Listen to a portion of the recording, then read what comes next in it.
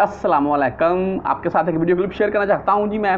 ये क्यों शेयर करना चाहता हूँ? और ये पाकिस्तानी भाई इस वक्त काफ़ी फ़ेमस हो चुके हैं। और दुबई के शेख, यानी कि हमदान बिन मोहम्मद आप सोशल मीडिया के ऊपर इनके भी भाई बिलियंस के हिसाब से फॉलोअर्स हैं। मैं खुद एक छोटा सा फ़ैन हूँ इनका, इनकी मुख्तलिफ़ किस्म की वीडियोस देखता रहता हूँ। आपको शायद इनकी मैं एक आध पिक्चर यहाँ पर दिखा रहा हूँ और अभी मैं इनका ट्विटर अकाउंट ही देख रहा था, जिसके ऊपर ये इन भाई, पाकिस्तानी भाई की वीडियो शेयर की गई।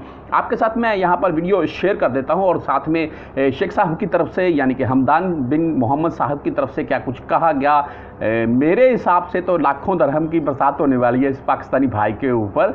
बहरहाल, इनकी तरफ़ से क्या कहा गया? वीडियो क्लिप में क्या कुछ है? आपको यहाँ पर दिखा देता हूँ। एक छोटी सी बात पहले आपके साथ शेयर करूँगा जी। ये नहीं बोलूँगा यार चैनल को सब्सक्राइब करें, वीडियो को लाइक करें। वो मैं किसी वीडियो में नहीं बोलता, आपका अगर आपको कोई वीडियो अच्छी लगे तो कर दीजिएगा। बात ये बोलूँगा छोटी सी कि हम, मैं खुद से जजान में था, मैं बहुत सी वीडियो, मैं ये वीडियो को छोड़ूँगा नहीं। मैं वीडियो ये शेयर करता रहूँगा वक्ता फ़वक्ता अपने चैनल के ऊपर। आप भाइयों को इस वीडियो के मतलब ये ज़रूर बोलूँगा, चाहे मेरा ये वीडियो क्लिप निकाल कर शेयर कीजिएगा, किसी भी प्लेटफॉर्म के ऊपर शेयर कर दीजिएगा। अच्छा ये हुआ कुछ यूँ था कि एक बकरी थी जी आप भेड़ बोल रहे हैं, वो बाकायदा प्रेगनेंट थी और एक वादी थी बहुत गहरी। यहाँ पर उसके मतलब की वीडियो दिखा रहा हूँ, उसमें थी और हमने बाहर निकाली, मैंने और कुछ दोस्तों ने मिलकर और बाद में दो रात तकरीबन हमारे पास रखी बाद में उसका जो मालक था, उसे वापस की और तकरीबन कुछ दिन बाद वो मुझे उसका मालक मिला और उसने मुझे आवाज़ देकर बुलाया इधर आओ मैं गया तो उसने बोला, ये वही भेड़ है और इसकी टांग भी मजूर थी। ये शायद वादी में इसलिए रह गई और वादी से इससे निकला नहीं जा रखा था। और कुत्ते भोंक रहे थे, जो कि इसको रात को खाने वाले थे, शाम हो चुकी थी उस टाइम भी।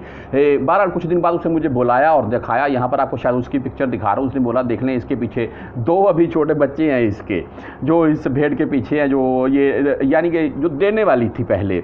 तो माशाल्लाह बहुत मुझे खुशी हुई वो ये सीन देखने के बाद। बहरहाल, हमें इसके मतलब मिला कुछ नहीं था। ये क्लियर बात है। हालाँकि उस, उन दिनों में दुबई की बिल्ली एक पाकिस्तानी ने बचाई थी। मेरा ख्याल है कि उसके ऊपर भी चालीस हज़ार दरहम की चालीस हज़ार या इससे भी ज़ायद की उसको इनाम मिला था। बहरहाल, वीडियो कुछ यूँ हुई जी, आपको हाथ में मैं वीडियो क्लिप दिखा रहा हूँ। अभी वीडियो क्लिप में देख लें पाकिस्तानी है जी, अब्दुल गफूर नाम है इनका, तलबात कंपनी है जी, सऊदी अरबिया सॉरी सऊदीया में वैसे हैं। दुबई में आपको पता ही आम है। डिलीवरी पिज़्ज़ा, डिलीवरी बॉय बोला जाता है इन्हें।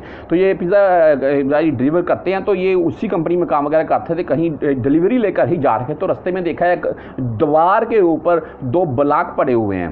तो इन, इनकी तरफ़ से ये सोचा गया कि अगर कोई हादसा हो जाता है, खुदा ना खास्ता तो किसी को चोट वगैरह आएगी या नुकसान हो सकता है।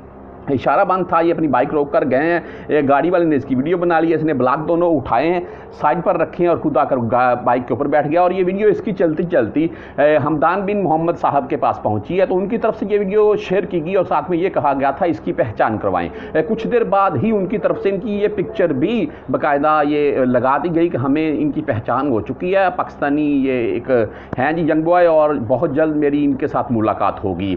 हम भी उस मुलाकात का इंतज़ार करेंगे कि मुलाकात में शेख साहब कौन सी खिदमत करते हैं इस पाकिस्तानी भाई की? इन ताला वो वीडियो भी शेयर करूँगा। लेकिन मैं फिर लास्ट में यही बोलता जाऊँगा आपके साथ जी के वो क्लिप जो हमारा है ना, बकरी बचाने वाला, वो भी किसी के साथ शेयर कर दें।